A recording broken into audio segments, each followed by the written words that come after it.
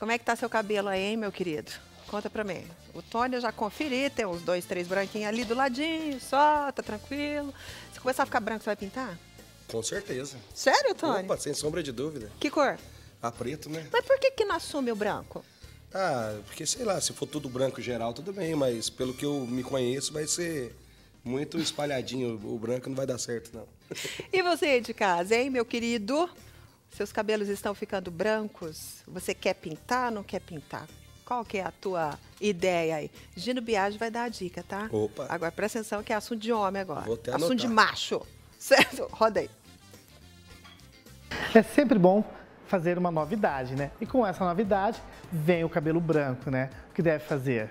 Cuidar, tem pessoas que assumem, tem pessoas que não assumem o cabelo branco. Para você que tem o cabelo branco, você tem que tomar muito cuidado na hora que for pintar.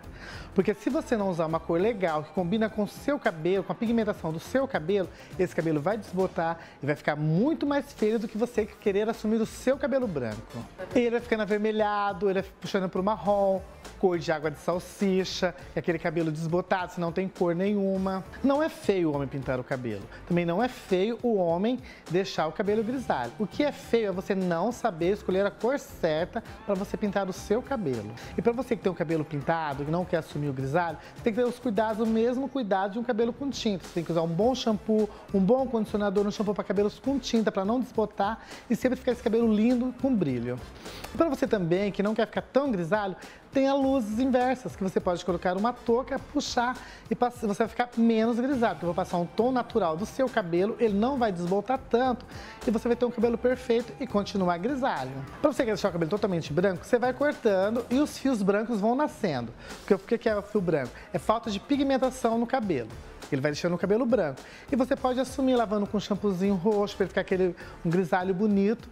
E para você que quer pintar o cabelo, a coceleta é um lugar muito difícil de pegar tinta, por ser um pelo mais grosso. O que você tem que fazer? Repassar. Passa a tinta nele todo e depois você repassa na coceleta de novo. Mas para você também que queira pintar, não vai direto na tinta. Vai para umas luzes, ao contrário, porque foi melhor do que você pintar o cabelo. Porque se você pintar o cabelo, de 15 em 15 dias você tem que pintar o cabelo.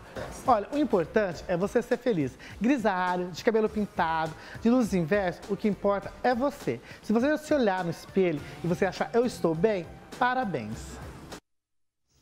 Vamos ver o cabelo do povo aqui.